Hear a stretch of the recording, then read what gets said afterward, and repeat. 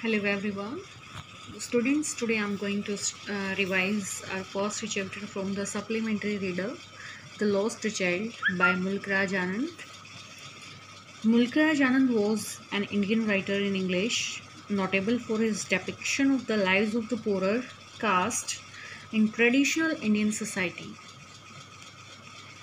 He was one of the pioneers of the Indo-Anglican fiction. He was one of the first India-based writer in English to gain an international readership. His uh, he is noted for his uh, perceptive insight into the lives of the oppressed, their impoverishment, exploitation, and misfortune. He was also a recipient of the civilian honor of the Padma Bhushan. Mulk Raj Anand now I will tell you the brief story of this chapter before revising before revising all the questions. Mulk Raj Anand, an Indian writer in English, is well known for the uh, depiction of the Indian society. The lesson The Lost Child depicts an Indian rural village with all its charm, simplicity, and gaiety especially during the festive season.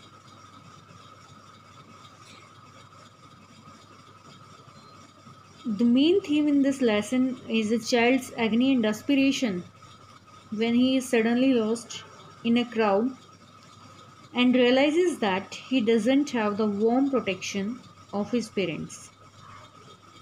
The child is taken by the parents to a fair during spring season he is filled with joy on seeing the fun around him. First of all, you have to notice that it was the festival of spring.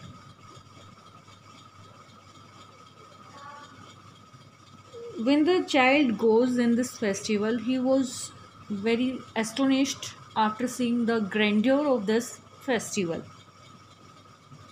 He wants to stop at every shop and every stall to enjoy the colorful scenes, but as the parents find the child lagging behind, they keep shouting for him and the child is alerted.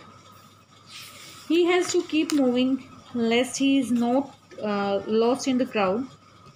Constantly, the parents are monitoring the child because they know the risk of losing the tiny child amidst the crowd that have flocked to enjoy or carry own their uh, business in the fair. As is common with kids, this child too keeps uh, keeps pestering the parents to buy him everything he comes across the sweets, the flowers, the balloons, and all other colorful things he sees displayed in the fair.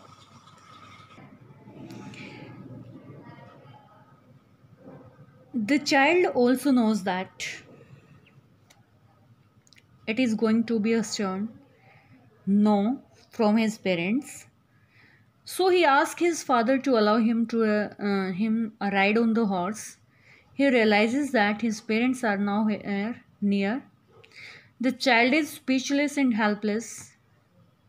Fear overpowers the child and uh, he starts crying frantically and trying to search for his parents the only words that escape the child's choking throat amidst controllable tears is mother, father.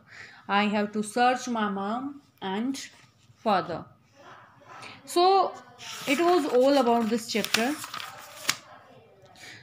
Later in this chapter, a stranger man who is very kind hearted, who sees the lost child and picks him and tries to pacify him he offers the child the sweets, balloons, flowers, and all the beautiful things that the child had earlier pleaded for. But now the child doesn't look at them and uh, firmly declines as he didn't find any attractive any longer. The little boy was yearning to be with his dear parents. A child's psycho- uh, psychology is very effectively portrayed through the uh, this simple incident by the author.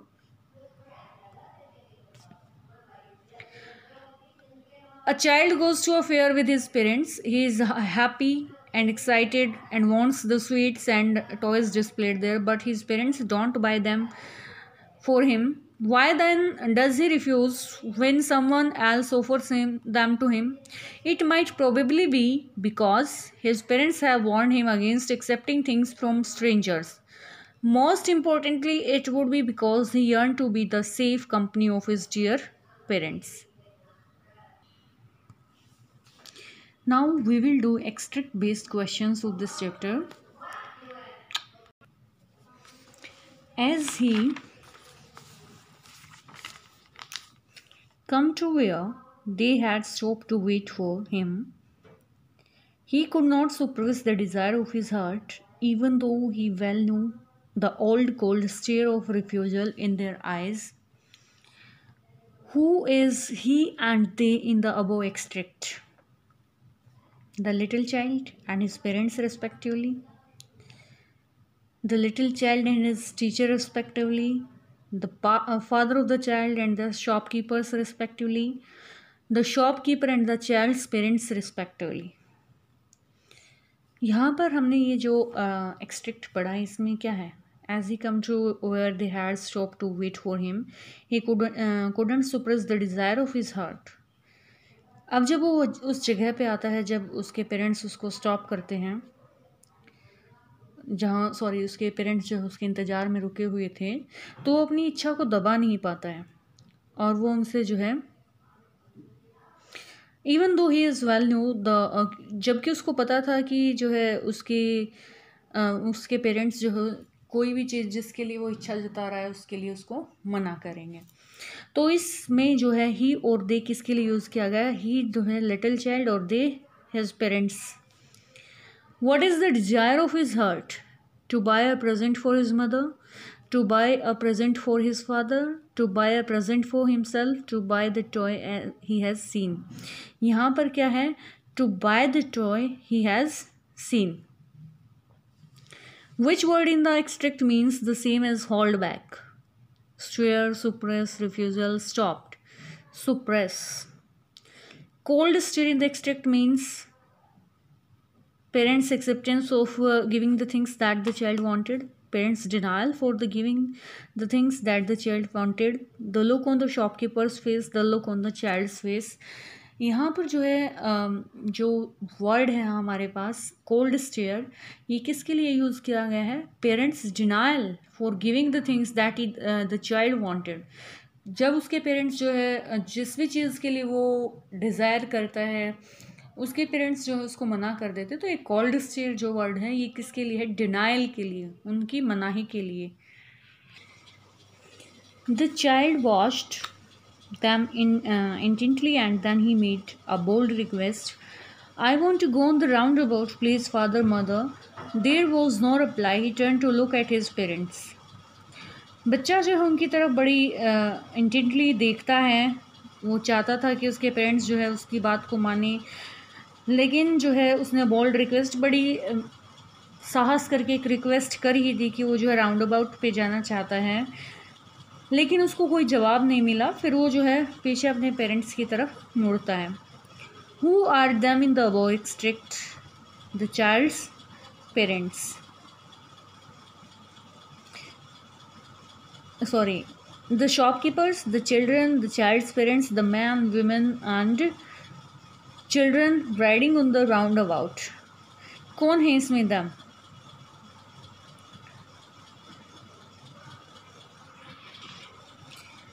वो किसकी तरफ़ देखता है? जो लोग, औरतें, जो बच्चे जो है राउंड अबाउट पे गए हुए थे, उनकी तरफ़ देखता है, क्योंकि उसका भी बड़ा इंटरेस्ट था उस पे जाने का। Why was there no reply because the parents were near by Because the parents were not nearby because the child spoke a low voice because the child didn't speak anything यहाँ पर हमारा answer क्या होगा because the parents were not nearby इसीलिए वो reply नहीं कर रहे थे Find a word in the extract with a, uh, which is a synonym of keenly. Uh, slowly, intently, attentively, watched, intently. Select the opposite of bold. Timid, slow, candid, uneven, timid. A man in the surging crowd heard his cry and stooping with great difficulty lifted him up in his arms ये जो हमारा extract ये कब है जब बच्चा जो है बिल्कुल अपने पेरेंट्स को ढूंढ रहा था और भीड़ में जो है फंसा हुआ था और नीचे गिर गया था बुरी तरह से चिल्ला रहा था, तब एक जो है काइंड हार्टेड पर्सन उसको देखता है और उसको बड़ी मुश्किल से जो है ऊपर उठाता है अपनी बाजुओं में। Who is him in the above extract इस एक्सट्रैक्ट में हम हिम किसके लिए यूज़ किया गया है? A man in the surging crowd heard his cry and stooping with great difficulty difficulty lifted him up in his arms तो आप समझ ही गएँगे कि हिम किसके लिए यूज़ किया गया द लॉस्ट चाइल्ड के लिए जो है ये यूज़ किया गया है। Where was the surging crowd near the exit of the temple near the entrance of the roundabout near the exit of the roundabout near the entrance of the temple तो आपको पता है कि वहाँ पर टेंपल का जो एंट्रेंस था, वहीं पर जो है इतनी ज़्यादा भीड़ थी। तो ये near the entrance of the temple find a word in the extract which is which is a synonym of bending stooping what is surging mean in this extract इस एक्सट्रिक्ट में जो है सर्जिंग का मतलब क्या है moving slowly moving randomly moving quickly and powerfully its meaning is moving quickly and powerfully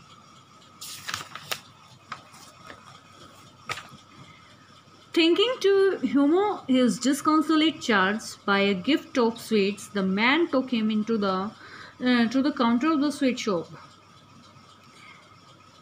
अब आदमी ने क्या सोचा कि बच्चा बहुत ज़्यादा रो रहा है तो उसको मनाने की कोशिश में वो जो है उसको रिश्वत देना चाहता था एक तरह से मनाने के लिए क्या करना चाहता उसको स्वीट्स दिलवाना चाहता था गिफ्ट दिलवाना चाहता था और उसको स्वीट शॉप पर लेकर के जाता है। Who is the disconsolable charge in the above extract the child father the lost child यहाँ पर जो है द लॉस्ट चाइल्ड जिसको मना नहीं पा रहा था वो, उस बच्चे को जो है वो लेकर के गया। What did the man want to achieve by offering sweets to the disconsolate charge he wanted to feed the hungry child he wanted to blackmail the child he wanted to divert the child attention from the sorrow being separated from his parents he wanted to kidnap the child here the point c is the correct answer. He wanted to divert the child's attention from the sorrow of being separated from his parents. वो बच्चे की जो है mind को divert करना चाहता था, क्योंकि बच्चा जो है अपने मम्मी पापा से अलग होने की वजह से बहुत ज़्यादा दुखी था। अब उसका माइंड डाइवर्ट करके इन चीज़ों में वो उसको थोड़ा शांत करना चाहता था। Which word in extract is a synonym of laughter disconsolate humour comedy giggle यहाँ पर ह्यूमर जो है लाफ्टर है what does disconsolate mean extremely happy extremely sad and disappointed extremely uh, somewhat sad and disappointed tolerant extremely sad and disappointed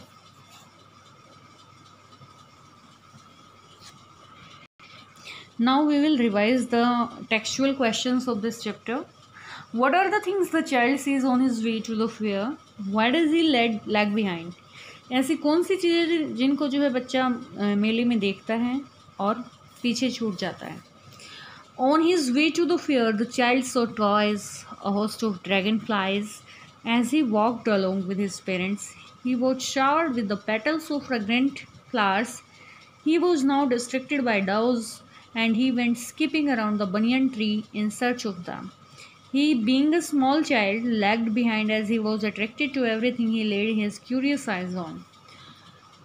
उसने मेले में जितनी भी टॉयज़ देखे जितने भी जो है एक मस्टर्ड फ़ील्ड की तरफ़ गया तो ड्रैगन फ्लाइज का जो एक पूरा झुंड देखा और उसके ऊपर जो है पेटल्स गिरते हैं तो उनको सर्च करने के लिए जो है बनियन ट्री के चक्कर लगाता है और फिर जो तितलियाँ उनको पकड़ने की कोशिश करता है तो इस वजह से जो है वो बेचारा उनमें उस अट्रैक्ट हो जाता है उनकी तरफ़ और पीछे छूट जाता है। In the fair he wants many things what are they why does he move on without waiting for an answer मेले में वो बहुत सारी चीज़ें चाहता था। वो क्या क्या है? और बिना कोई आंसर के जो है वो आगे चलना शुरू कर देता है। क्यों?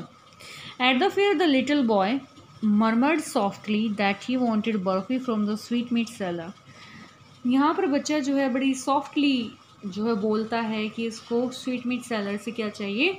बर्फ़ी, क्योंकि उसको बर्फ़ी बहुत ज़्यादा पसंद थी। Flowers from the flower seller flower seller से उसको फ्लावर्स चाहिए थी balloons from the balloon seller and to listen the music of the snake charmer He moves on without waiting for an answer because he knew that his parents would find an excuse for not fulfilling any of his demands. The only demand he voiced loudly was that he wanted to go on to the roundabout. हर चीज़ उसको पसंद थी, चाहे वो balloons हो, चाहे वो फ्लावर्स हों, चाहे वो म्यूज़िक हो स्नेक चार्मर का, और उसको वो हर चीज़ इंजॉय करना चाहता था लेकिन जो है, वो बेचारा बिना अपनी इच्छाओं को दबाए हुए आगे ही बढ़ता जाता है, क्योंकि उसको अपने पेरेंट्स की आंसर का पता था कि वो उसकी डिमांड को फुलफ़िल नहीं करेंगे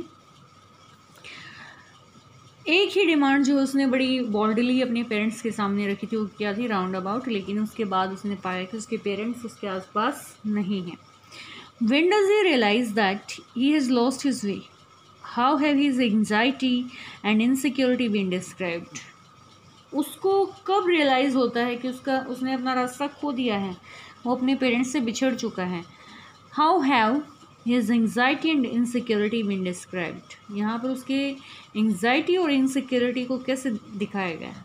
The little boy realise that he had lost his way then his request for a ride on the roundabout was met with the silence जब उसने रिक्वेस्ट किया अपने पेरेंट्स से राउंड अबाउट पे जाने के लिए और वो उसको चुप्पी के अलावा कुछ नहीं सुनाई दिया, उसके पेरेंट्स की कोई बात सुनाई नहीं दी When he turned around to look at his parents, he realized that they were not to be seen anywhere. His reaction was a full, deep cry that rose from within his dry throat. His body convulsed and he began crying with fear and anxiety. Wailing loudly, he begins running around wildly, shouting out for his parents in the absolute desperation. जब उसने देखा कि उसके parents नहीं हैं उन्होंने कोई reply नहीं किया जब और मुड़ के देखता है तो वो रोना शुरू कर देता है। इधर उधर जो है अलग अलग डायरेक्शंस में उनको खोजता है चिल्लाता रहता है दौड़ता रहता है लेकिन बहुत ज़्यादा डेस्परेट हो जाता अपने पेरेंट्स से मिलने के लिए। सो so, यहाँ पर जो है उसकी एंजाइटी और इनसिक्योरिटी को दिखाया गया है। Why does the lost child lose interest in the things that he had wanted earlier उन चीज़ों में से जो है अपना इंटरेस्ट कैसे खो देता है, जिनको पहले बहुत पसंद कर रहा था, जिनको पहले चाहता था? The boy was suddenly noticed by a man in the crowd who lifted him in the arms and try to console him बच्चा जो है, अचानक से एक आदमी के द्वारा नोटिस किया गया और उसने जो है, उसको अपनी बाजू में उठा लिया और उसको मनाने की कोशिश की। In his attempt at calming down the child he offers him everything the child had been waiting wanting his parents to buy him अब वो उसको जो है मनाने की कोशिश में, उसको शांत करने की कोशिश में, उसको बहुत सारी चीज़ें ऑफ़र करते हैं, जिन चीज़ों को वो अपने पेरेंट्स से चाहता था। The ride on the roundabout to the barfi he was very fond of roundabout की राइड और बर्फ़ी जिसको, जो उसको बहुत पसंद थी। He has only one reply to the gentleman and that was I want my father I want my mother उसके पास एक ही रिप्लाई था उस जेंटलमैन के लिए। जब भी वो उसको किसी चीज़ के लिए ऑफ़र करता कि तुम बर्फ़ी ले लो, तुम जो है झूले पे झूल लो या कोई और चीज़ तो वो जो है हर चीज़ के लिए मना कर देता और सिर्फ़ क्या बोलता, मुझे अपने पापा चाहिए, मुझे अपनी मम्मी चाहिए। The little child loses interest in everything around him बच्चा जो है, हर चीज़ में से अपना इंटरेस्ट हटा देता है, खो देता है because he yearns to be with his family क्योंकि वो अपने परिवार से मिलना चाहता था।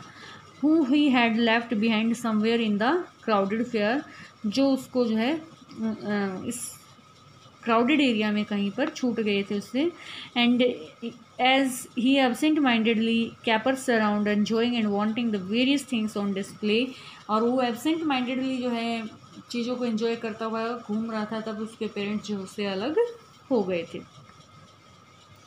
What do you think happens in the end does the child find his parents आपको क्या लगता है कि बच्चे को अपने पेरेंट्स मिले होंगे? अंत में क्या हुआ होगा? The author has always empathise with the weak troubled suppressed and downtrodden यहाँ पर क्या है कि ऑथर ने हमेशा ही अपने जितने भी नॉवेल्स हैं या स्टोरीज़ हैं, उनमें कमज़ोर लोगों के लिए, संकट में जो लोग होते हैं, जो सुप्रेस्ड होते हैं, जो कि दूसरों के द्वारा जिनके ऊपर अत्याचार किया जाता है, उनको दिखाया गया है।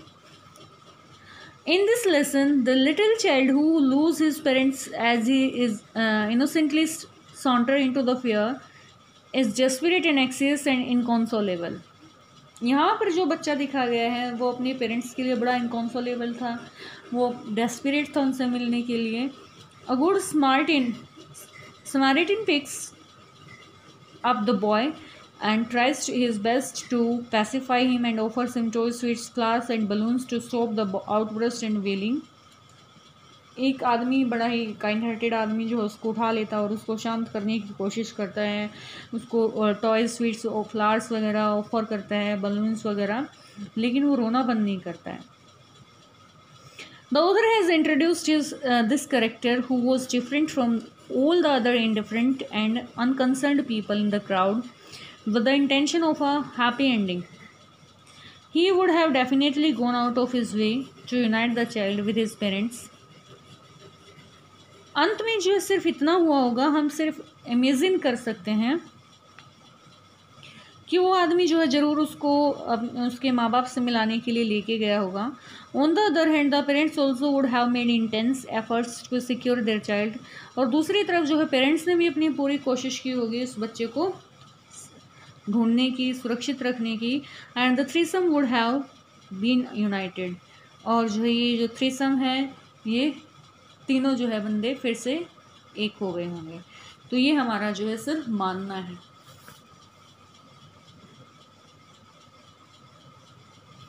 So now we have revise our chapter इस चैप्टर में हमारे मेन पॉइंट्स क्या हैं? एक तो ये है कि जो है कौन सा फेस्टिवल था? इट वॉज़ स्प्रिंग फेस्टिवल जो कि हम पढ़ चुके हैं।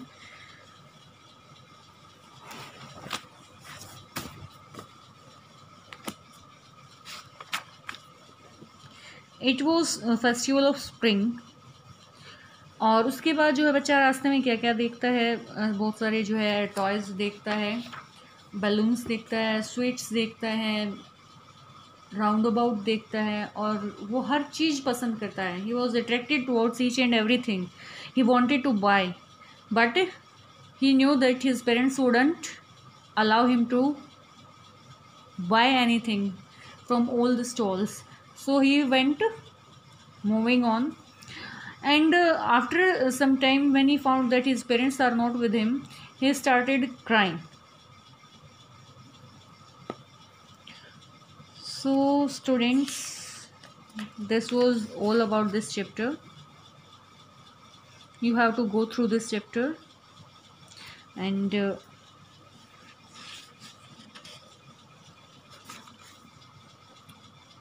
we have done all the questions.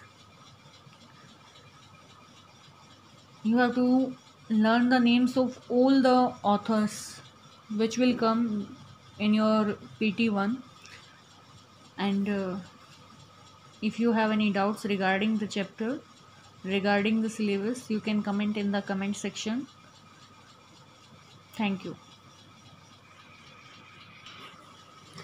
and uh, one more thing i want to tell you that uh, you have to keep this in mind that the boy was uh, found on the entrance of the temple by a kind-hearted man. He was picked up by a kind-hearted man samaritan and uh, he was offered everything to pacify by the man but he didn't accept anything. He just wanted to meet his parents his father and his mother.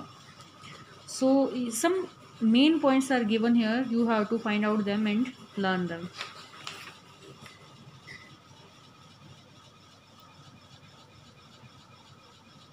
Main uh, one more thing is that on which point he uh, he can't suppress his desire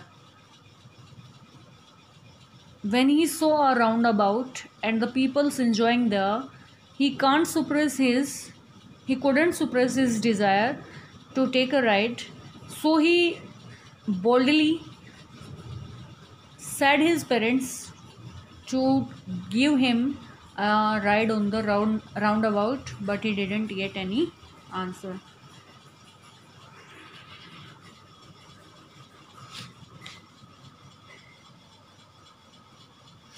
and here one more thing is that it was a flowering mustard field pale like melting gold as the swept across miles and miles of the even land mustard field की का comparison किससे किया गया है किसकी तरह दिखाई दे रहा था मेल्टिंग गोल्ड की तरह हुए सोने की तरह it was looking like melting gold so here is a simile use melting gold for the mustard field you have to remember this thing also.